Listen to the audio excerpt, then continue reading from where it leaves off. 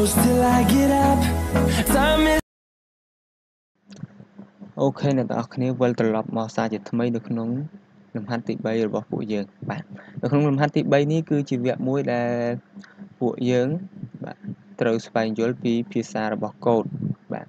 ហើយនិយាយបានថាគឺជាកូដដែលយើងត្រូវសរសេរបង្កើតឡើងដើម្បីឲ្យ user យើងងាយស្រួលប្រើប្រាស់បាទតោះឥឡូវ ជាក់ស្ដែងដូចនៅលើផ្នែកខាងនេះបាទពេលខ្ញុំคลิกទៅវានឹងបង្ហាញសូបែបនេះណាអូខេតោះយើងនឹងទៅបង្កើត form បែបហ្នឹងតោះដំបូងយើងរៀនបង្កើត form រួចឯងមែនអត់នៅក្នុងលំហាត់ទី2យើងបាទអញ្ចឹងខ្ញុំនឹងណែនាំសារជាថ្មីម្ដងទៀតត្រួសត្រាសពីវាបាទនៅក្នុង form នេះ form ទី1គឺមានទម្រង់បែបនេះបាទដែលខ្ញុំមាន design ការក្នុងលំហាត់ទី1យើងវីដេអូទី1បាទ ហើយទម្រង់ទី2នេះគឺ user form ទី2នេះគឺខ្ញុំបាន design បាទតែមិនបានថតជាវីដេអូទេបាទប៉ុន្តែដោយសារតែសង្ឃឹមថាអ្នកទាំងអស់គ្នាមើលទម្រង់ form ទី1យល់ហើយបាទវីដេអូទី1គឺដូចគ្នាណាគ្រាន់តែវាដាក់រូបនិងការ design បន្ថែមបន្ថែមទៅប៉ុណ្ណោះហើយបាទ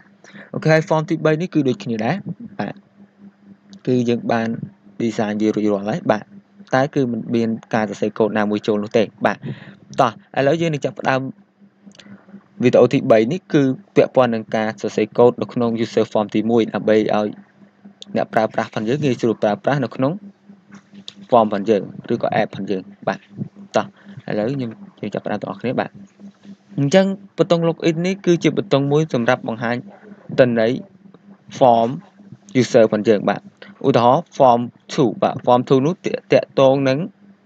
បាទជាក់ស្ដែងដូចជា អឺ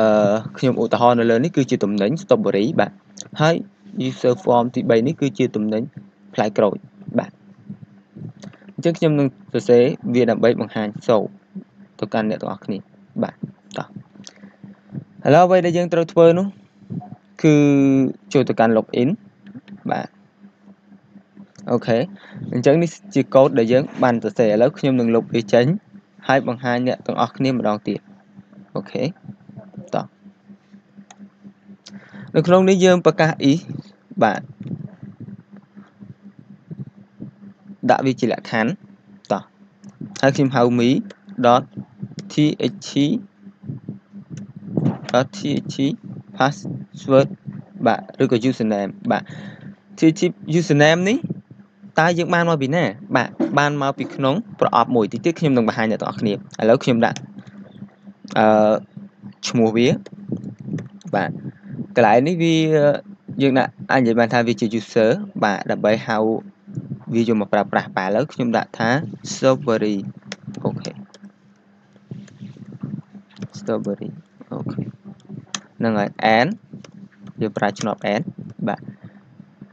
មូលហេតុអ្វីបានខ្ញុំត្រូវការវាសរសេរក្នុងធ្មេញកណ្ដុរ2បាទកាលណាវាទៅនៅជាអក្សរបាទខ្ញុំនឹងប្រកាសវាក្នុងធ្មេញកណ្ដុរបាទមួយទៀតគឺ me.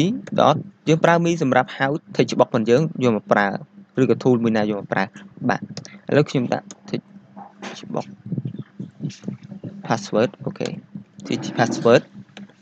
ស្មើ1 2 3បាទ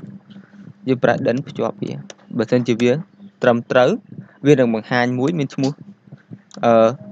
វានឹងបង្ហាញ user មួយបាទនេះនេះនេះ user នេះ user 2ណាអ្នកទាំងអស់គ្នាបាទ user 2យើងគឺ strawberry ណា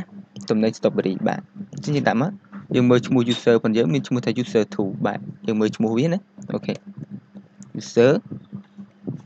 form user form ណា form 2ណាតំណែង strawberry អូខេអញ្ចឹងយើងដាក់មក user form 2 dot so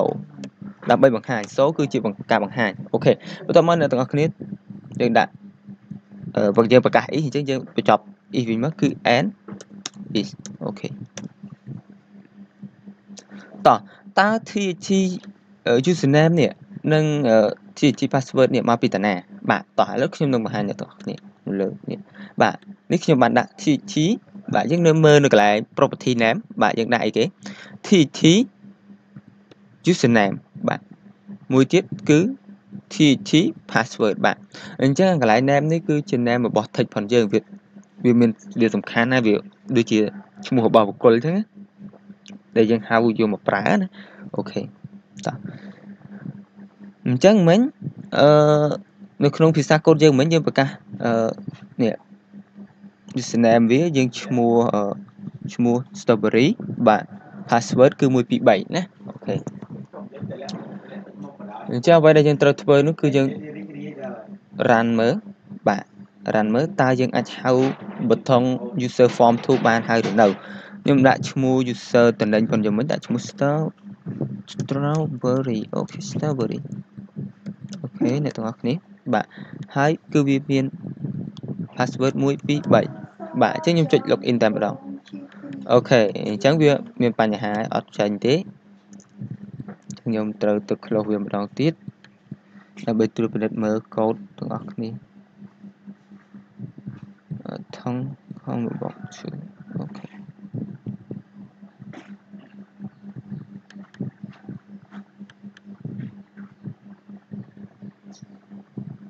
combo box 2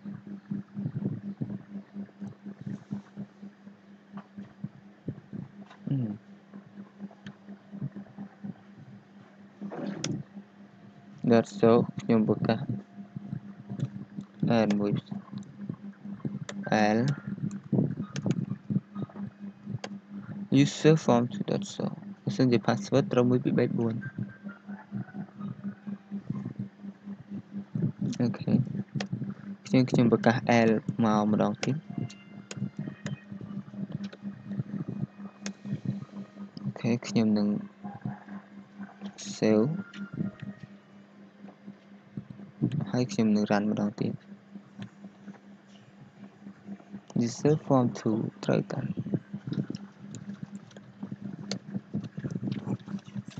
strawberry password គឺ1 2 3អូខេអត់ចេញទេអ្នកទាំងគ្នាអញ្ចឹងយើងត្រូវទៅពិនិត្យមើលម្ដងទៀតណាជួយមើលទៅលើកូដរបស់យើង